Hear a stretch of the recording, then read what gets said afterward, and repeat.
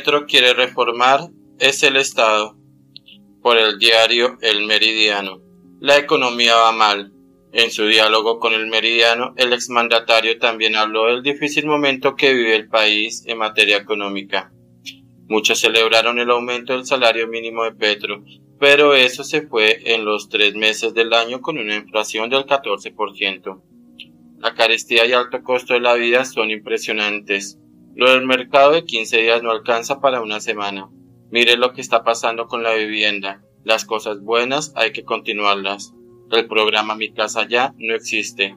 Hoy no hay subsidios porque Petro lo redujo y un pobre en Colombia que hizo un esfuerzo monumental de ahorrar 30 millones para tener la posibilidad de una casa, cuando va al banco usted le dice que como no hay subsidio le presta, pero a una alta tasa.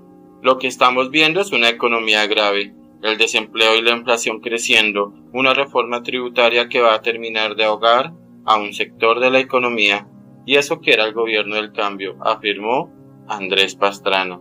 Y como si todo esto fue poco, el expresidente criticó que todo tiende a empeorar ya que el gobierno anuncia no más exploración de petróleo y, la, y gas. Dicen que vamos a fortalecer el turismo, pero Petro siempre con sus mentiras. Solo San Andrés perdió 70 mil millones de pesos en Semana Santa. Ahora le quieren dar plata Bianca, que no es una compañía colombiana, cuando el ministro de Transporte un día dijo que dos aerolíneas no se pueden unir y unos días después dice que sí. Cuando se quebraron? Todo es contradictorio y creen que con el avión presidencial solucionan el problema de San Andrés, indicó Andrés Pastrana. Durante su visita por Montería, donde busca sumar miembros a su partido, Nueva Fuerza Democrática, el expresidente Andrés Pastrana Arango aprovechó para lanzar desde el meridiano duras críticas a las directivas del Partido Conservador, además a los congresistas liberales y de la U, pero los cuestionamientos más fuertes fueron en contra del gobierno de Gustavo Petro, del que dijo es corrupto. Dictador con senadores. Pero tal vez uno de los hechos que más cuestionó el expresidente Andrés Pastrana fue el papel de los partidos conservador liberal y la U en el estudio de las diferentes reformas. Muchos me preguntan, ¿usted qué piensa las reformas de Petro? Yo digo, no son de Petro, son de los partidos conservador, la U y liberal. Petro lo que quiere hacer en Colombia es instaurar una dictadura con 20 senadores. Si esos partidos le votan las reformas, ellos serán los responsables del desastre de este país. Esos son los votos que van a llevar a que Petro pueda hacer las reformas, si es que le votan. A Petro no le interesan las reformas de salud ni educación, nada de eso. Le interesa la reforma del Estado. Él quiere cambiar el modelo de Estado. Petro quiere hablar de la estatización. Nosotros estamos hablando de economía social de mercado, de libertad, de orden, de defender al empresario, al emprendedor, a las MIPIMES, todo lo contrario a lo que Petro está proponiendo, advirtió Pastrana que además calificó al Congreso de corrupto. Críticas a conservadores. Para el expresidente Andrés Pastrana Arango, los conservadores están asqueados de las directivas de su partido.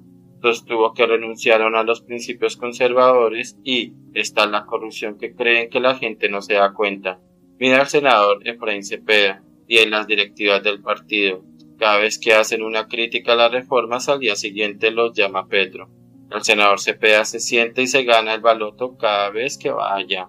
Cuestionó que el directorio conservador lo manejen los congresistas, por lo que es imposible penetrar el partido, que es tan corrupto, que miren lo que pasa con los avales, hoy los venden. La corrupción es impresionante por esta situación desde que el Consejo Nacional Electoral le devolvió la personería jurídica a la nueva Fuerza Democrática, Pastrana marcó distancia, ya que para nada se identifica con el gobierno nacional, al que consideró es su antítesis. El CNE es claro y para dar tranquilidad estableció que si un concejal, diputado, gobernador o congresista se quiere unir a la nueva Fuerza Democrática, lo puede hacer hasta el 25 de abril y no se castiga ni transfugismo y mucho menos doble militancia. Esta es una alternativa honesta, clara y limpia, dijo Pastrana Arango. Finalmente, le recordó a, sus excompartidarios del conservatismo que la colectividad debe defender tesis y programas. Por eso son tan importantes las elecciones de octubre. Nunca antes las elecciones locales fueron tan importantes. Debemos ganar las alcaldías de Bogotá, Medellín, Cali, Barranquilla, Montería y en las grandes capitales. Debemos recuperarlas porque si no las ganamos no volvemos a ver la presidencia de Colombia en muchos años, advirtió. Corrupción e instituciones. Petro representa la corrupción. Hace un año era el cambio, pero la corrupción hoy está en el presidente. El CNE está investigando la violación de los topes electorales de su campaña, por lo que responden el candidato y su gerente. Dos cuestionados, el presidente de la República y el recién nombrado presidente de Ecopetrol.